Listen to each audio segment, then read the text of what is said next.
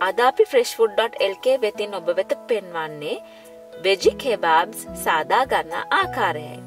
මේ සඳහා ඔබට අවශ්‍ය වන්නේ කැරට් ග්‍රෑම් එකසිය පණහක් ගකින් ග්‍රෑම් එකසිය පණහක් ලූනු ග්‍රෑම් එකසිය පණහක් සුකිනි ග්‍රෑම් එකසිය පණහක් බටන් මශ්රූම්ස් ග්‍රෑම් එකසිය පණහක් බෙල් පෙප ග්‍රෑම් එකසිය පණහක් පිපිඤ්ඥ ග්‍රෑම් එකසිය පණහක් ඔලිබ් තෙල් මේ සැහැඳි දෙකක් තක්කාලි සෝස් මේ සැහැඳි දෙකක් බේසිල් කොල කිනිති තුනක් සුදුලූුණු පේස්ට් මේ සැහැඳි දෙකක් සහ චීස් ග්‍රෑම් පණහක්.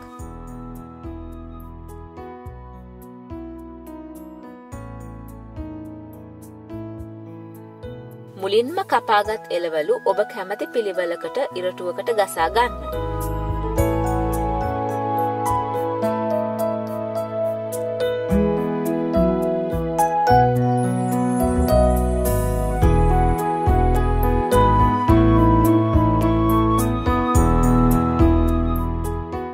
පසු ඔලිව් තෙල්වලින් තවරා ගන්න.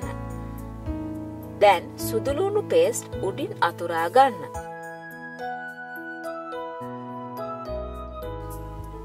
ඊටත් උඩින් තක්කාලි සෝස් අතුරාගෙන අවසානයේ බැසනතුරු චීස් උඩින් අතුරා ගන්න.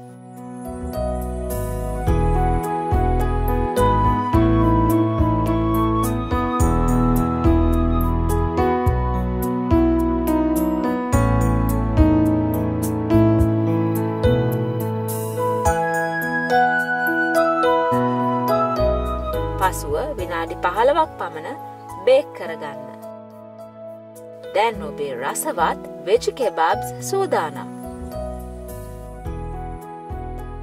තවත් මෙවැනි රසවත් ආහාර වට්ටෝල් සඳහා ෆ්‍රෙස්් ෆුඩ්.ලක වෙතින් එකතු වන්න ඔබට සුබ දවසක්